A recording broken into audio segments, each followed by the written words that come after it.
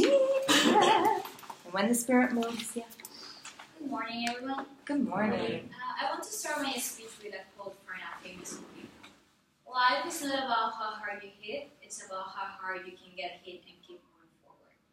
I consider myself a persistent person, and I believe that it doesn't matter how many times you fail, it's about keep trying. Mm. My name is Valerie Moncada. I am 19 years old. I've been attending Santa Monica College since last spring, and I'm going to talk about where do I come from, a little bit about my hobbies, and my summer vacation in order for you to get to know me better.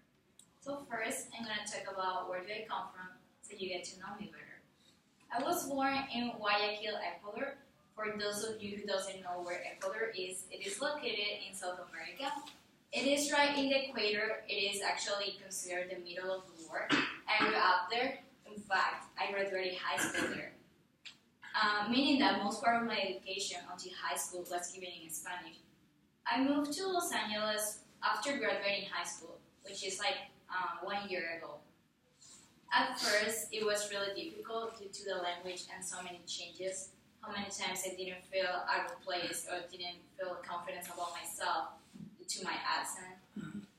And but I like changes and I like challenges, and I believe that it doesn't matter where you go, you have to remember your culture or where do you come from. Just imagine going to a whole different country with a different language where you don't know anybody. It's hard, but it's been a good experience. So now that you know where do you come from, I'm going to talk about a little bit about my hobbies. All right, let's hold on one second. For your hobbies, mm-hmm. so we're going to have Leslie stand if you don't mind. Do you mind standing real quick? And then Crystal, you mind standing? And then maybe Christopher, do you mind standing up real quick? These are your three friends that you're going to speak to, okay? Okay. Start it here, then go there, then go there, and then come back the next time, okay? Let's try it there and tell us, tell Leslie, sorry, about your hobbies. Go. Okay, so second I'm gonna talk about my hobbies. I love working out.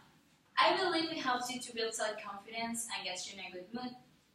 I'm the kind of person that can wake up very early in the morning to work out. Even Mm. some people think that I might be crazy sometimes. I think it's a really good way to start a day.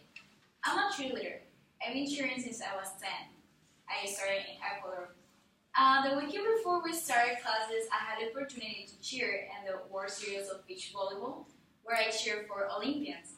And I had the opportunity to meet celebrities such as uh, Josh Hutcherson from the Hunger Games and Shaquille O'Neal. I have pictures.